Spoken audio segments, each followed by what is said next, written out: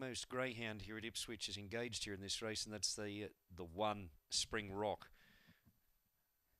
I say winning most. That's the winning most of all time. Spring Rock. He's won. Uh, what 30 I think 38 goes 38 39 races here uh, 41 of 153 overall Spring Rock but he's got Professor Snitch which is returning to Queensland here in this race drawn in the four very talented greyhound Clock 24 and 67 here on debut. Set and ready. Racing. Professor Snitch away about centre field here. It's back second to last, trying to get through the pack into about fifth position. There's a faller out the back. It's Mitchell's Lass. In front is Hot Barrels.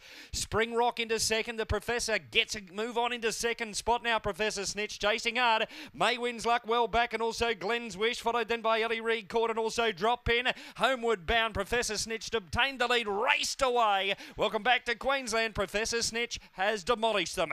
Beating home Glenn's Wish second there, followed by Ellie Reed Court. Further back to Drop Pin and also Maywin's Luck, Spring Rock. A uh, long way back to Hot Barrels and Mitchell's Lass. Last of all, well, after missing the kick, 24 and 90 the time on the board.